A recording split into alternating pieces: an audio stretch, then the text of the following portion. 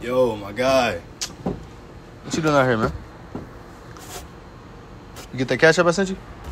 I did, but that ain't no reason for you to be at my house, dear. Whoa, whoa, whoa, bro. What you mean? Boy, what the hell you want? Man, I know you're not still mad about that situation. Man, I'm trying to make peace about this stuff. Come on. All right, Darren, you got five seconds to get out of my house. Man, come on, man. Darren on my mama, if you grab me again, I swear to God, I'll beat your ass. Come on, man. That's not even why I came over here. Can we just take a seat and talk about it?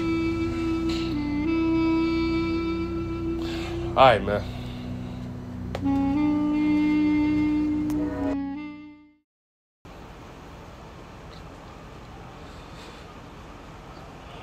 Man, I'm Man, I'm sorry.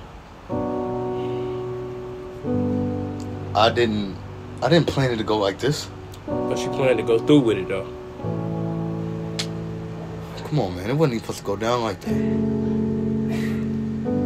It ain't like y'all perfect anyway. And what you mean by that? How you gonna determine what's perfect what's not? How you gonna judge between me and mine, partner?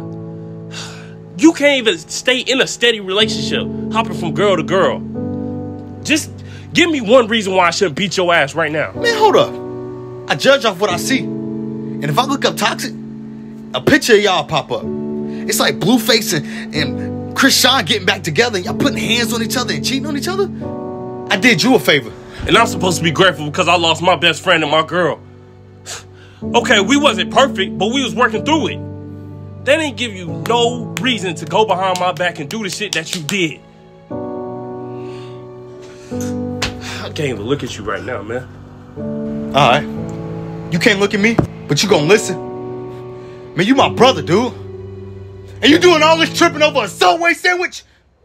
A Subway sandwich? It ain't about the damn sandwich. It's the principle. If y'all would have waited five minutes while I was washing my hands, but no, y'all want to eat my meatball sub with my coupon and just think it's gonna be okay? Y'all left me with a tuna sandwich, De'Aaron. I don't even like tuna. Well, next time, go to Firehouse Sub.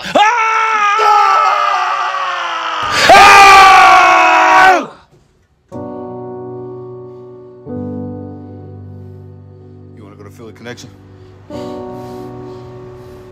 Yeah. Okay. Moral of the story is never eat a Subway sandwich without your boy. It's betrayal.